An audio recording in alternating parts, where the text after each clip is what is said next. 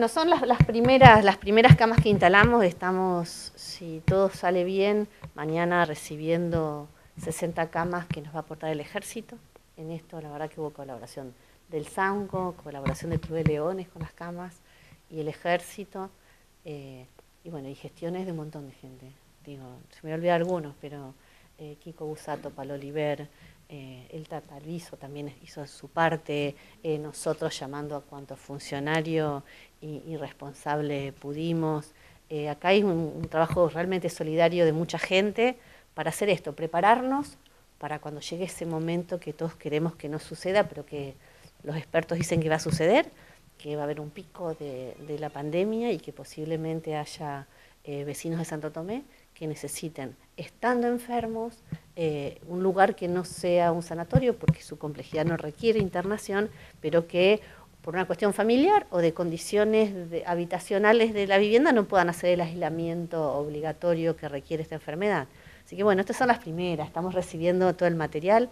Esto lleva una logística que nos llevó días y que fue comprar sábanas, almohadas, eh, colchones, conseguir las camas, eh, contratar el personal, acá el personal eh, profesional permanente, siguiendo los protocolos que nos envió la provincia para el acompañamiento de estas personas que van a estar en situación leve, pero enfermas. ¿En total qué cantidad de camas va a tener este lugar? Ahora estamos vamos a llegar, eh, si todo sale bien, a 90 camas. El, ideal que nos planteó provincia son 143 las condiciones del espacio físico de Club Alianza nos permitirían instalar todas acá en este lugar. El funcionamiento, bueno, con respecto a los profesionales, es de una enfermera cada 60 pacientes y un médico las 24 horas, aparte de la gente de servicios generales. El sistema de viandas, se trabaja con una cocina de acá de Santo Tomé, eh, con material descartable, cosa que cada vez que después que almuerzan o cenan, todo eso se tira.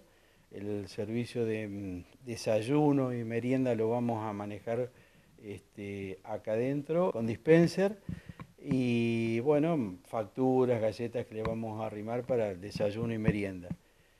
El servicio de lavandería también, una empresa que está ofreciendo el, retiro de material, de, eh, de todo el descartable, material patológico, eh, esperemos que llegara a un buen acuerdo si los números son acordes. Eh, vamos a tener un servicio de radiografía, sí, porque para los casos pulmonares, si hay un cuadro así tipo neumonía o algo, para derivarlo enseguida.